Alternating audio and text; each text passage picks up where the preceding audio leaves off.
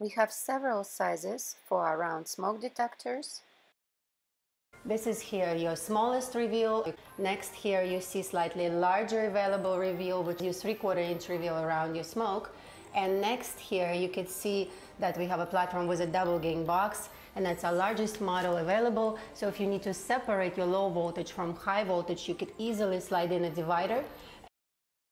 Some applications where the smoke detector requires both a high voltage and a low voltage condition. In that particular scenario, it's a two gang box.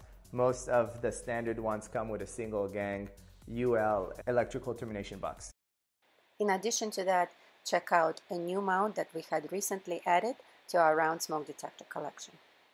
Here we are again with SeeLess Solutions showing you the new Deepergress platform for uh, Cosmos smoke detectors.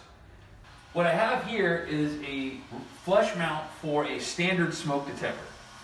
I'm going to show you if I use the Cosmo 2 smoke detector, it has a deeper profile. So when I stick it up into our conventional flush mount device, it sticks down slightly. You can see that it comes down below the ceiling line. With our new Deepergress SeeLess mount, it's going to solve that problem. You can see here with the new Deepergress, the Cosmos fits perfectly flush along the ceiling line with the new platform.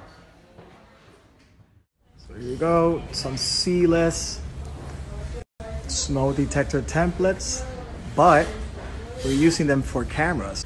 It's gonna look super nice.